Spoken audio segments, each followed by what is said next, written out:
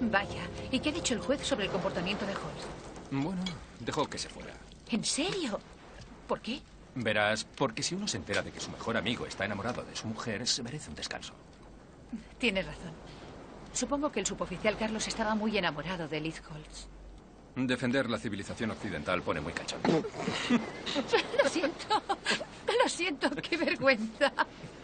Pero ha sido culpa tuya. ¿Mía? Sí, Si tú has derramado el vino, ¿cómo va a ser culpa mía? porque me has hecho reír. Porque eres muy divertido. Eso es lo que me gusta de ti. Me encanta. ¿Es cierto eso sobre la civilización occidental? No lo sé, comprobémoslo.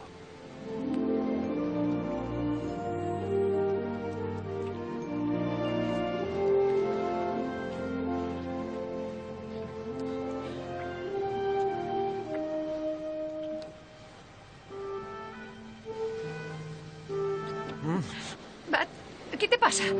Tenemos que irnos de aquí. ¿Por qué? ¡El satélite! ¡Vamos! Comandante Mackenzie, muchas gracias por venir. Sé que es tarde, pero no podía dormir. Conozco la sensación.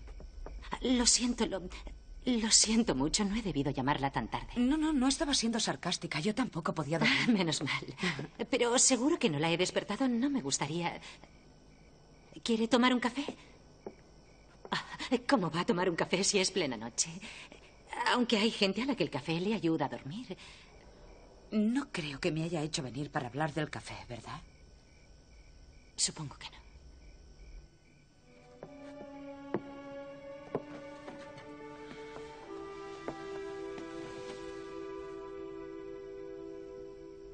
¿Usted cree que condenarán a mi marido?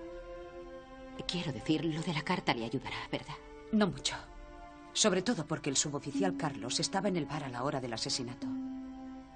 ¿Y si condenan a Freddy? ¿Podrían condenarle a muerte? Es posible.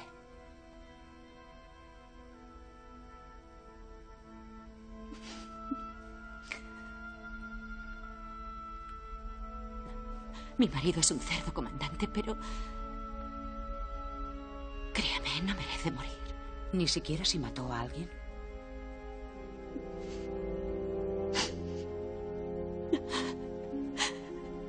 Señora Holst, dígame, ¿qué pasó aquella noche?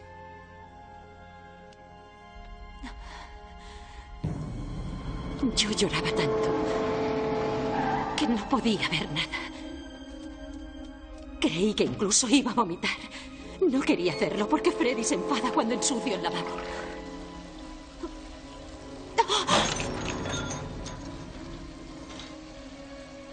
¿Dónde has estado? ¿Así que su marido estaba en casa, señora Holst? Sí. Y usted mintió en su declaración anterior. Sí, él estaba en casa cuando llegué. ¿Por qué mintió? Porque quería verle muerto. Te odio, Freddy. Te odio tanto que ni siquiera soporto mirarte. Pero no puedo hacerte esto.